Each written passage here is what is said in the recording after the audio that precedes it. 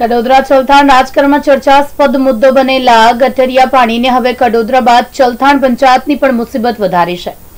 કડોદરા અને ચલથાણ બંને વિસ્તારમાં રહેણાંક અને કોમર્શિયલ વિસ્તારનું ગટરનું પાણી સુધી હાઈવેની ડ્રેનેજ લાઇનમાં છોડવામાં આવતા મુદ્દો ગરમાયો છે. જો કડોદરા પાલિકાએ પોતાના વિસ્તારનું ગેરકાયદેસર ડ્રેનેજ લાઇન ધરાવતા લોકોને નોટિસ ફટકારી ગટરના ચેમ્બર પૂર્યા છે. તો આ મુદ્દે ચૌથાણ પંચાયત પોતાના વિસ્તારને આવેલ ગેરકાયદેસર ગટરના જોડાણ બાબતે ક્યારે હરકતમાં આવે છે તે જોવું રહ્યું. બુધવારના રોજ કડોદરા જિલ્લાના સીઓ દ્વારા પાલિકા વિસ્તારમાં આવેલ સરગમ કોમ્પ્લેક્સ તેમજ તેની પાછળના ભાગે આવેલ અઢાર જેટલા રેસીડેન્સી ટાવરના ગેરકાયદેસર ડ્રેનેજ લાઇનના ચેમ્બરમાં માટી પૂરી ચોકઅપ કરવામાં આવ્યા બાદ રેસીડેન્સી બિલ્ડરોની સમસ્યાનો આંશિક નિકાલ રૂપ ખાડકુવો બનાવવા માટે નક્કી કરવામાં આવ્યો હોવાનું જાણવા મળ્યું હતું.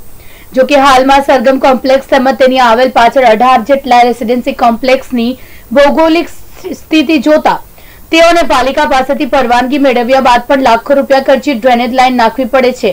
તો બીજી તરફ, આ મુદ્દે આક્રમક મૂડમાં કડોદરા વિસ્તારનું ગટરનું પાણી પોતામાં જ વિસ્તારમાં રોકાતું ચલથાણ પંચાયત વિસ્તારમાં આવે, સન સિટી તેમજ આસપાસમાં આવેલ ચાર જેટલી રેસીડેન્સી કોમ્પ્લેક્સના ગટરનું જોડાણ પણ નેશનલ હાઈવે નંબર અડતાલીસમાં સર્વિસ રોડ પર આવેલ. વરસાદી પાણીના નિકાલ માટે બનાવવામાં આવેલ ડ્રેનેજમાં અપાયું છે. અને પલસાણા મામલતદારે ચલથાણ પંચાયતને પણ પોતાનું આ ગેરકાયદેસર જોડાણ દૂર કરવા માટે જણાવ્યું હતું. આમ કડોદરા પાલિકાએ પોતાના વિસ્તારમાં ગેરકાયદેસર ડ્રેનેજ લાઇન બાબતે કાર્યવાહી ચાલુ રાખી છે.